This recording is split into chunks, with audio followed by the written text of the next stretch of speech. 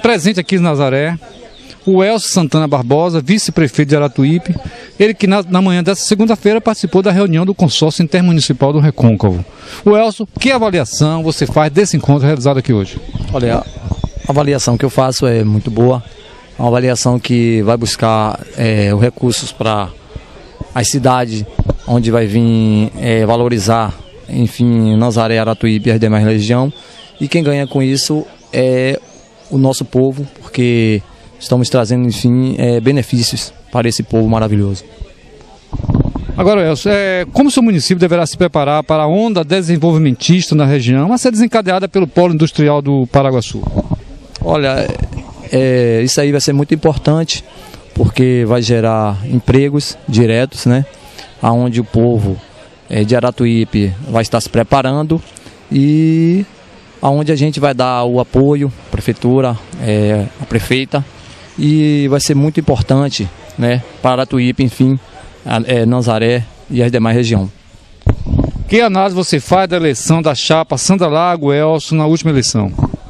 Olha, foi muito importante o dia 7 de outubro, a última eleição.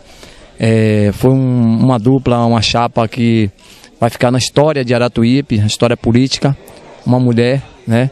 E eu tive a honra, o prazer de estar lado a lado com Sandra fazendo, fazendo uma campanha brilhante, onde o povo é, se desempenhou o máximo, tanto o povo de Maragogi-Pinho, a minha terra, Aratuípe, zona rural.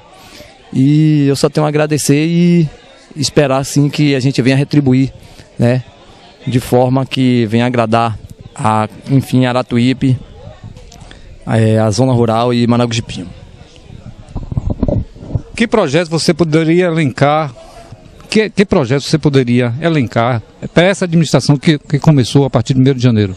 Olha, o projeto é que a gente está aí com a saúde, temos é, Maragogi-Pinho com dois secretariados, secretária de saúde, é, seu Manuel, secretário de Agricultura, e os demais secretários, que a gente venha fazer um trabalho brilhante, um trabalho marcante que vai ficar na história né, de Aratuípe, esse governo, onde Sandra é, venha brilhar né, de forma com esse grupo e quem vai ganhar com isso, enfim, é os aratuipenses.